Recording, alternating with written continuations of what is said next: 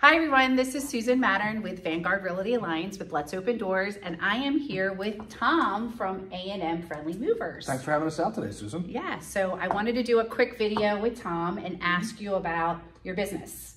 So tell us a little bit what you do. So residential and light commercial moving, uh, basically what we do is we help people manage the most stressful part of the home buying process. And what we try and do is take all of that stress out of that process and make it so that you can move into your new home quickly and efficiently.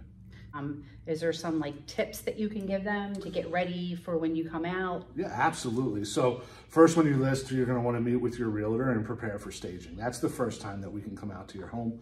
Uh, we can bring out supplies to help you start to box your personal items and get your home ready to be shown um, to potential buyers. Past that point, once we're out there, we can do an evaluation and decide how much or little of our services you want to use.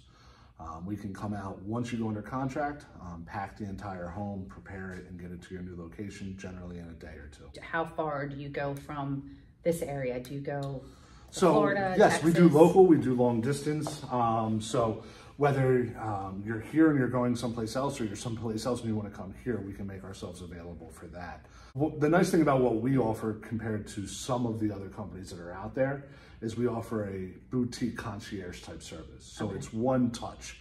Our guys are going to come out, we're going to load and pack your truck. Uh, we work with a network of movers nationwide that we um, trust. When we get to your final location, we're going to be the ones that unload it. So your belongings aren't going on and off a truck. We kind of defy the laws of science, right? right? An object at rest is supposed to stay at rest. Dressers aren't supposed to move, but we pick them up and we move them. Right. So the least amount of movement that those pieces take, the better the chances are that it's going to end up in the condition that it left in.